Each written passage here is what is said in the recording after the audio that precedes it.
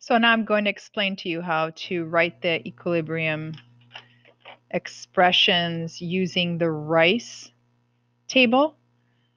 Uh, RICE stands for R is reaction, I is the initial concentration, C is the change in concentration, and E is the equilibrium concentration. Remember again that in our expressions of equilibrium, we are not included pure solids and pure liquids are not included only aqueous and our uh, gaseous states.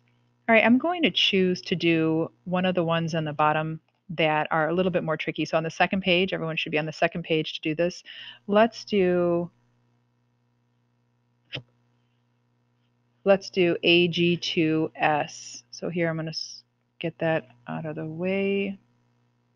We'll hide that um, we are given that the K equilibrium, so no, we know only the total. We don't know, like the previous equation, we had each of the aqueous states. Here we don't know that the each aqueous state. So first I'll put rice, and again, for our purposes in Honors Chem, we won't need to utilize all the information in the rice table, but I do teach it to you in this matter because if any of you go on to college level chemistry, this will be a very uh, useful tool all right, so I'll have write out what I'm given, which is in solid state. I'll write my expression or my equation, which is silver.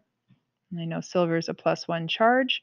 I'll put that in aqueous form, and then I'm given S, and that's a negative two charge, and that's also aqueous form. There's an AQ there. When I balance the equation, though, because I have two on the left side, I'm going to have two on my right side. This is different from what we've seen so far. Um, for our purposes, I'm going to cross these out because they are not going to be involved in our equilibrium expressions.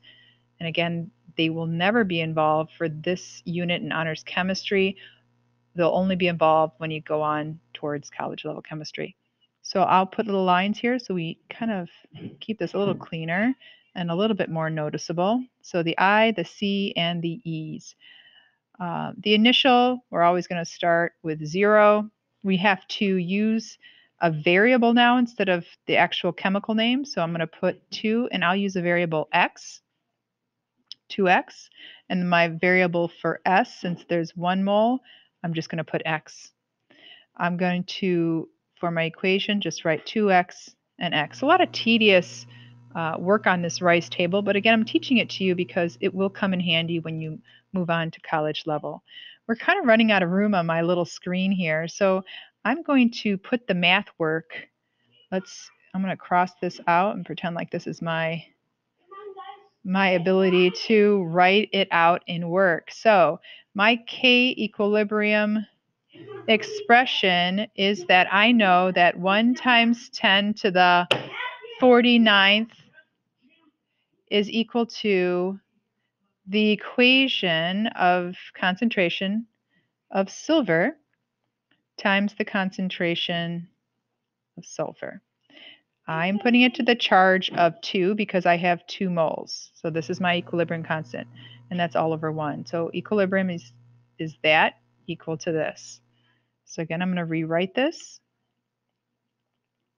and it looks like this answer. But now I'm going to use my variables. From below, I had my variables of silver be 2x, and the 2 is again from the number of moles. And then this variable was x. And I put variables in because this will help you solve mathematically. 2x squared is equal to 4x squared, and x is by itself here. And that is all equal to the number that was given. So now we have, again, I'm going to keep rewriting this so you understand that I'm just moving it down and doing math equations now. 4x squared times x is equal to 4x cubed. Oh, we're getting to some math. Pretty fun math here.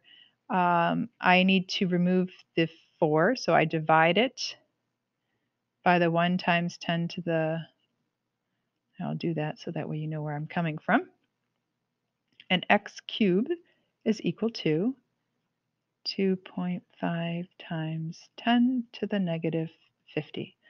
And what do we do with that 3? Well, we need to take the cube